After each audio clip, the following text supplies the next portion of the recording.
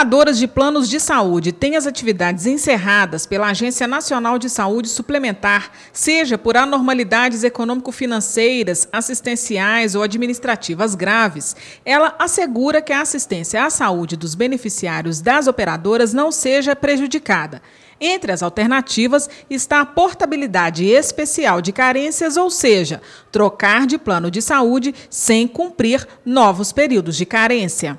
No final do ano passado, o Plano Família teve as suas atividades encerradas pela Agência Nacional de Saúde Suplementar, que é o órgão regulador dos planos de saúde. O motivo seria por problemas financeiros. Desde então, os usuários do Plano Família se dizem insatisfeitos por conta da portabilidade. Motivados por essa insatisfação, vários deles ajuizaram ação no Ministério Público de Ponte Nova.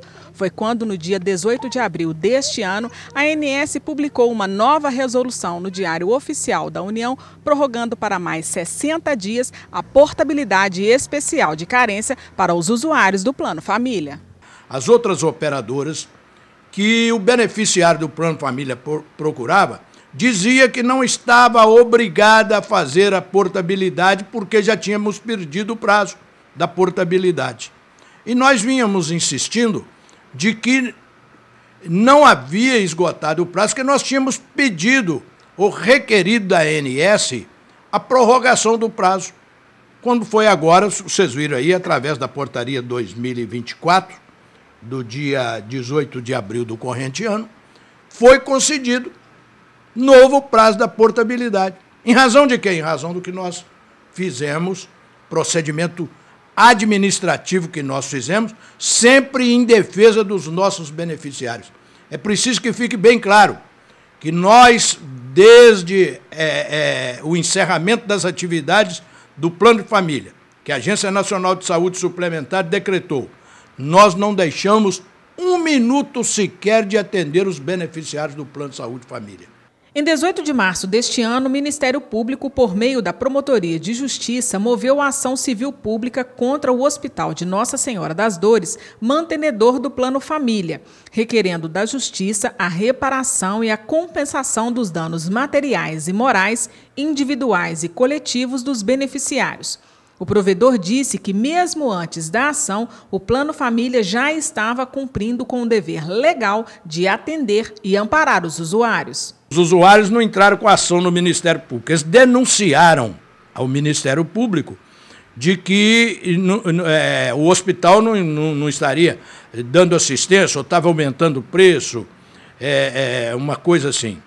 Então, nós temos o Ministério Público fez o inquérito civil público, ingressou na Justiça Comum, aqui em Ponte Nova, com uma ação, de, de, de com uma ação é, civil pública, pedindo que fosse é, feito atendimento pelo Plano Saúde Família. Questões que nós estamos discutindo na Justiça, porque nós entendemos de outro modo.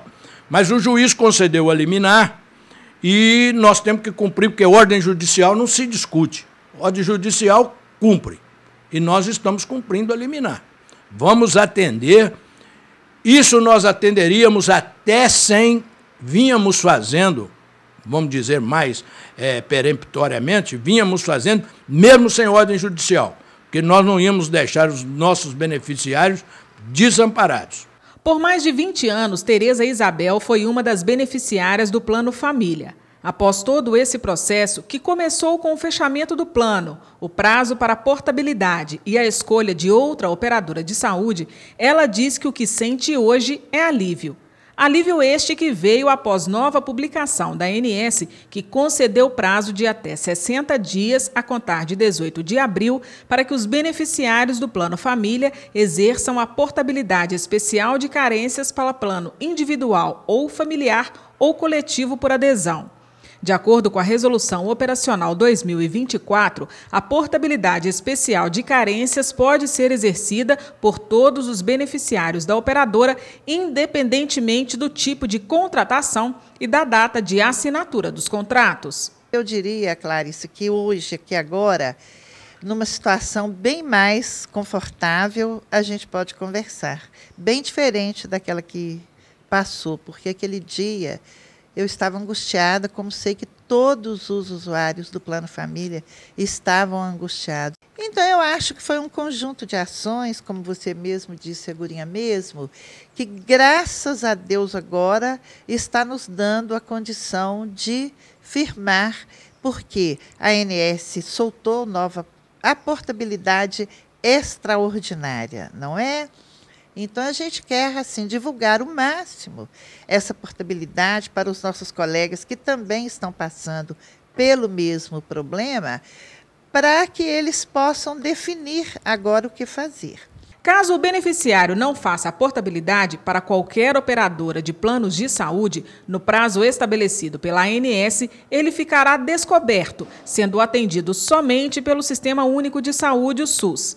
O provedor lembra que, com relação aos preços praticados após a portabilidade, eles são de responsabilidade das operadoras. A escolha é livre. A escolha é livre.